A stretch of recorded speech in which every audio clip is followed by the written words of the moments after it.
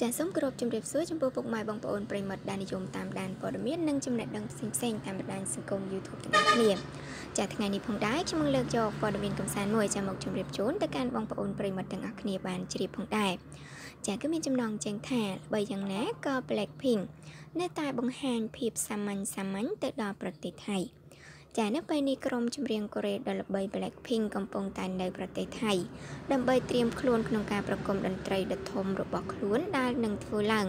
ក្នុងពេលឆាប់ឆាប់ដ៏ខ្លីខាងមុខនេះចាយ៉ាងណាមិញស្របពេលដែលកំពុងនៅប្រទេសថៃចាស្រាប់តែសមាជិកទាំង4ចារបស់ក្រុម Blackpink បានធ្វើឲ្យអ្នកគាំទ្រភ្ញាក់ផ្អើលយ៉ាងខ្លាំងនៅពេលដែលឃើញពួកគេធ្វើខ្លួនបែបសាមញ្ញសាមញ្ញ ដើរផ្សាររាត្រីរបស់ប្រទេសថៃកាលពីយប់មិញ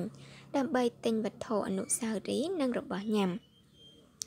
ចាទោះជាយ៉ាងណាក្តីក្រោយពីឃើញបែបនេះមហាជនក៏ដូចជាអ្នកគាំទ្រពិតជាស្ងាត់សរសើរដល់ក្រុមចម្រៀងស្រីនេះខ្លាំងមែនទែនចាព្រោះថាពួកនាងជាតារាល្បីលំដាប់ប្រទេសទៅហើយប៉ុន្តែពួកគេមិនប្រកាន់ខ្លួន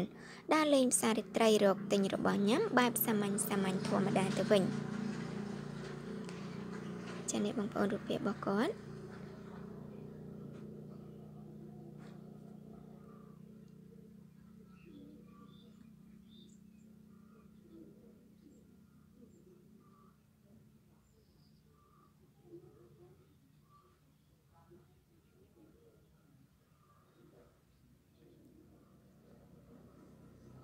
ចា ចាចំពោះព័ត៌មាននេះដែរគឺមានតែប៉ុណ្ណឹងចាសូមអរគុណសម្រាប់ការតាមដានស្ដាប់របស់ពុកម៉ែបងប្អូនផងដែរចា